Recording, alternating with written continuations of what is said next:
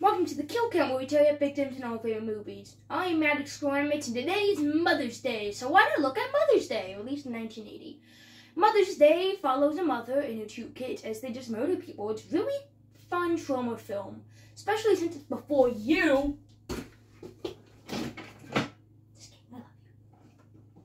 Yeah. Anyways, it's a very fun time and it's classic Troma. So, you know what? Just give it a watch, and I think you guys are going to have a good time. Well, how many people died?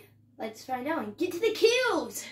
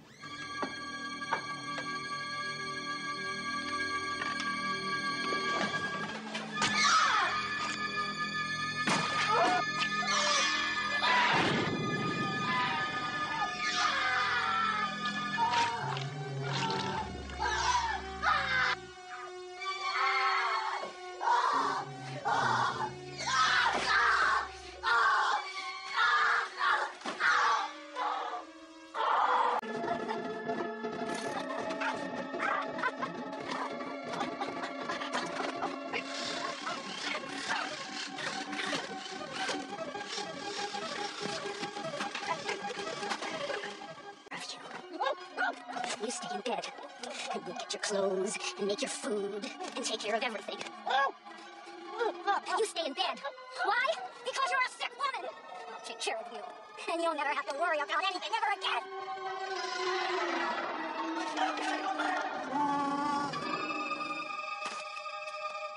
How many people died? Wait, what am I supposed to go to again? Hmm. How about the numbers? Yeah, that's a good idea. Hey, Yeah? since it is your day, do you want to do the numbers for me? I don't condone violence. Yeah, that's fair enough. All right, well, love you. Mwah. Seven people died in Mother's Day. Uh, yeah. Uh, just put that gender breakdown right up there. Uh, all the kills are great, so I'm just gonna give all five, all of them the Jake Javelin, and that's it. Uh, Mother's Day was released in 1980, and well, it's not great. It's way, way better than the remake, which I won't be covering until next year. Well, till then, I'm Magic Score Animates, and this has been the Kill Count.